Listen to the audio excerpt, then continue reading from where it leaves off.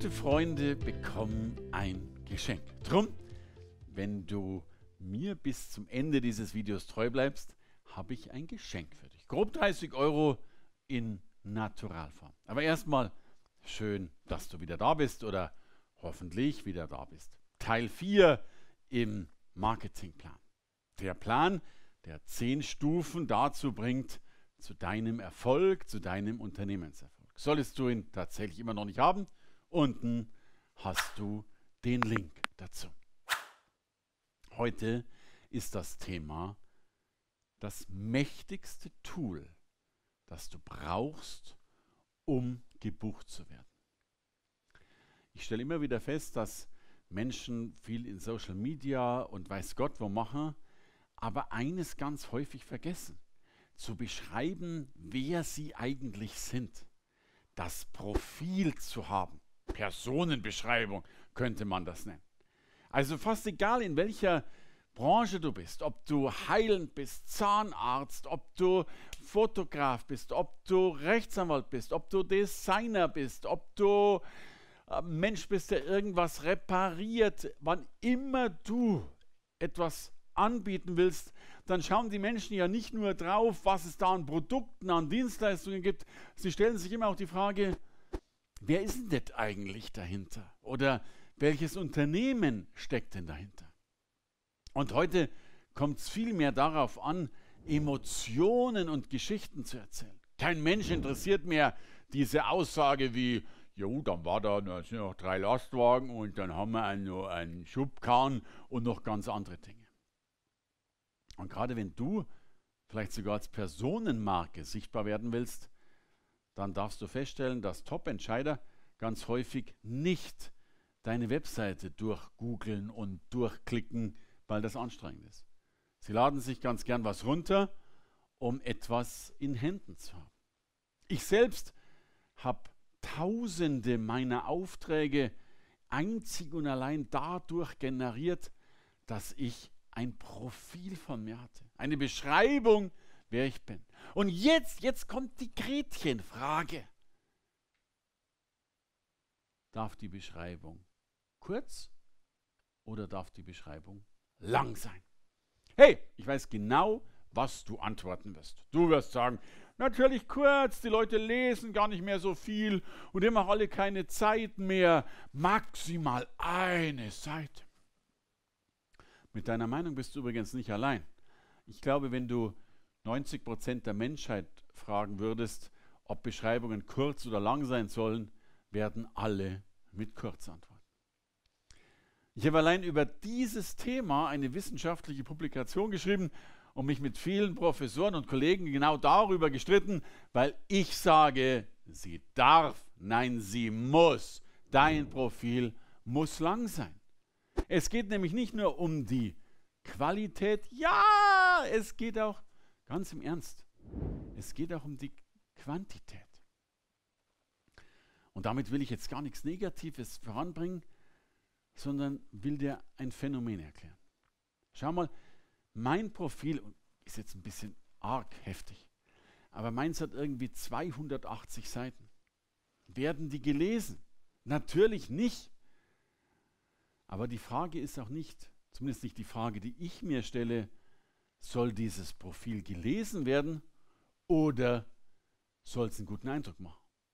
Und wenn meine potenziellen Kunden dann so aufblättern und so, wow, oh, übrigens, nicht der Text ist entscheidend, sondern Bilder, Grafiken, Emotionen und dann durchblättern und sagen, wow, dann gewinne ich fast jeden Auftrag. Warum? weil ich zusätzlich zur Qualität auch zeige, was da alles drinsteckt. Und Menschen wollen natürlich beeindruckt werden. Und das kannst du auch. Du kannst doch mehr als einen Lebenslauf oder was auch immer abdrucken. Du kannst Kundenstimmen abdrucken. Du kannst äh, Bilder abdrucken. Du kannst Emotionen abdrucken. Du kannst ist, soll. Hey, ich gehe mit dir nicht dieses ganze Video durch, damit du diese ganze Liste hast in der draufsteht, was du abdrucken kannst. All das findest du nämlich im Marketingplan. Da hast du eine Checkliste zum Abhaken und kannst du mal genau prüfen, hast du das, hast du das, hast du das, hast du das. Und sei da kreativ. Es gibt so viele schöne Dinge zu machen und die Dinge gehören da rein. Meine Erfahrung zeigt, dass wenn Menschen eine Lebensinventur machen, wenn die nochmal sammeln, was die eigentlich schon alles gemacht haben und das dann dokumentieren, dann ist das ein Riesenfüllhorn. Aber es lohnt sich, darüber nachzudenken.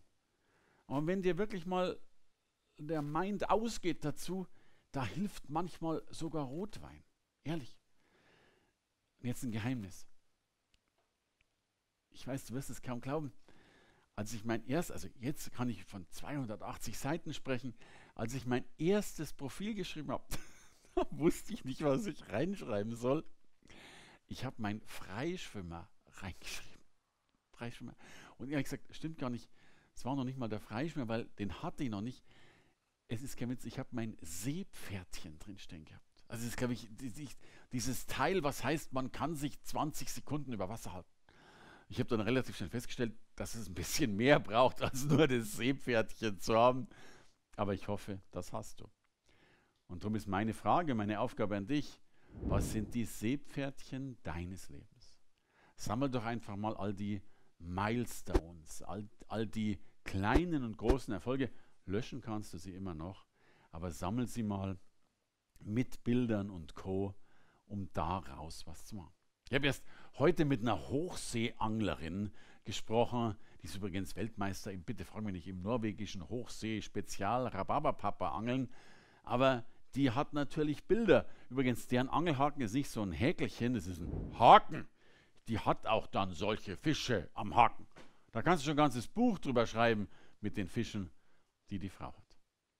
Also, guck mal, welche Fische du im Teich hast. Und jetzt kommt mein Geschenk. Wenn du dir nämlich den Marketingplan runterlädst, dann findest du auch noch mal einen Link zu meinem Profil, also zu dem Teil, worüber ich gerade gesprochen habe. Und dieses Teil kostet tatsächlich 30 Euro, wenn man sich kauft. Ist übrigens sogar deutschlandweit vergriffen. Also für dich haben wir es noch digital dabei. Und wenn es dir dann gefällt, dann freue ich mich, wenn du in den Kommentaren mal was reinschreibst und so weiter und so fort. Und du weißt, für einen Redner ist das der Dank der Applaus. Für einen YouTuber ist der Dank das Abo. wenn du jetzt da noch drauf drückst, dann freue ich mich, wenn ich dich bald wiedersehe. Also, sammel mal deine Fische im Teich. Bis zum nächsten Mal. Möglicherweise war das schon so eine kleine Inspiration für dich. Gerne natürlich noch mehr, ganz bewusst zur Umsetzung und auch um zu sehen, was sich damit alles erreichen lässt, gibt es natürlich noch einen Online-Workshop von mir. Vollkommen kostenlos, einfach um eine richtige Begleitung zu haben. Wenn du dabei sein willst, klick da unten. Ich bin gern für dich.